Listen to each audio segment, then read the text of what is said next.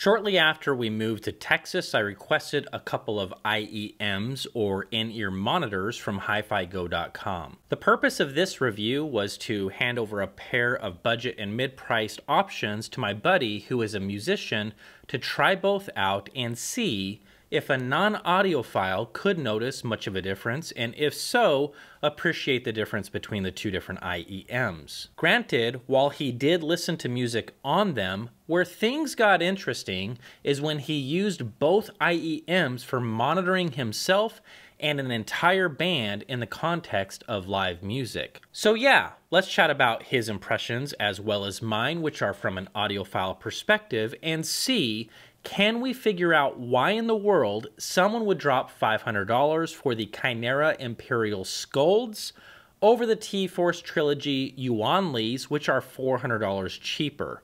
And with a warm welcome back to New Record Day, that's exactly what we're going to do. Just a quick disclaimer both these headphones were given to me for this review by HiFiGo.com. I requested these a while back because I wanted to try this little experiment. HiFiGo.com is not sponsoring or paying for this review, and with that disclaimer out of the way, let's dive in and have some fun. So, over the last few months, I've been volunteering to run sound at our church, and while doing so, it's been fascinating to try my hands and ears when it comes to mixing a live band. Even more, it's been incredibly rewarding to help fix a lot of audio related issues that the band was struggling with, including the horrendous, distorted nonsense that they were hearing in their in ear monitor mix. Understand this, guys. If their mix is bad as a band, there ain't a chance in the world that the mix that the audience is hearing will ever be as good as it can be. So, the first step before even looking at the front of house mix was to try and figure out why the monitor mix being sent to the musicians was so freaking terrible. A few things were discovered in this venture, and the one that we're going to be talking about today is the importance of high quality IEMs and how much of a difference they can make when it comes to live or pre recorded music playback. The first pair of IEMs that we're going to chat about today are the T-Force Trilogy Yuanlis. These retail for $119, feature one single driver, come with three sizes of balanced ear tips, bass enhanced ear tips, and one pair of foams. The drivers are made of metal, they feel substantial in the hand, and they are pretty comfortable, but slightly heavier than the second IEM that we're going to be chatting about today. While seated in the ear, the microphonics heard from tapping the cable is about the same between the two different IEMs, so there aren't any advantages with one over the other in that regard from my perspective, these sound pretty good. And while a clear step up from the Sennheiser IEMs that the band was using as an audiophile, I'm going to have to pass on these for a couple of different reasons. First, the bass sounded a little one noted in some of the complex passages, and second, I had a hard time hearing distinct and clear instrument separation checking out Jack White's brand new album, Fear of the Dawn, I kept noticing that while the mid bass and bass was tight and it was punchy, I couldn't hear each and every single note being played with ease, and I certainly didn't hear lower bass tones that I was hoping for. While the bass enhanced ear tips did help a little bit with this, bass impressions weren't the most favorable with these guys. Last, and this is what really drove me crazy, these almost always sound claustrophobic to me. It's almost as if every single mix, regardless of how big or wide it actually is, it all sounded pretty much the same and it always gave this front row presentation with every single song. Checking out opening from the Tord Gustavsen trio, the track Findings features a really nice drum intro with piano and gave the chance to hear staging and how staging can be, and in this case, the lack thereof. Going from the T-Force to the next IEM that we're to be chatting about, I am convinced that anyone would easily be able to hear this, and trust me, there is no comparison. Whether it's instrument separation or just the distance of placement between the instruments, the T-Force made this track sound like it's right in front of you, which unfortunately doesn't sound all that natural. Decay and all things in the time domain sounded truncated, so most of the top end sounds as if there's a wet blanket over it. So while these are clearly better than the cheap Sennheisers that came with the G3 packs that the band uses for live music, and believe it or not, my musician buddy really actually likes these, I don't think I can honestly recommend them to audiophiles even at 119 bucks. So with that, let's change gears and talk about what might be one of the best sounding IEMs that I have ever heard, all the way up to a thousand smackaroos. So the Skulds were a solid recommendation by my buddy DMS. Make sure you subscribe to his channel. Uh, it's down below.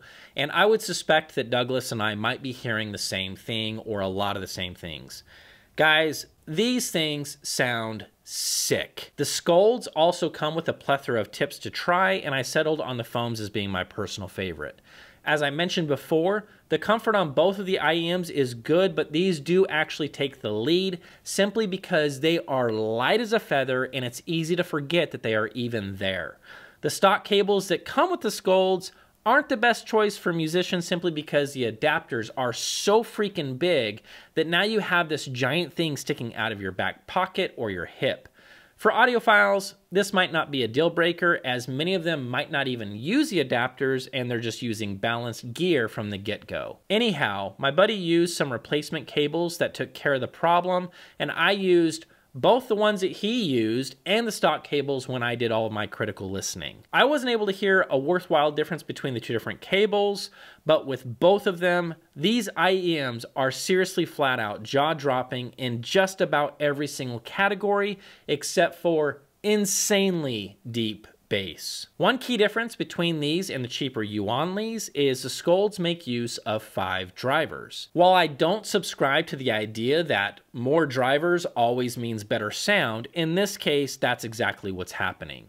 It's almost shocking to try the same tracks of Jack White's Fear of the Dawn back to back on both of these IEMs. The sub bass and bass is so much more rich it's defined, and while it's still not dropping insanely deep bass, the clarity of each and every single note is what impressed me the most. Climbing into mid range and above, I challenge you to find a more balanced and beautiful and sweet sounding mid band at this price point. Listening to raging distorted guitars on these is actually a treat where nothing sounds forward or grainy or fatiguing even after hours of listening.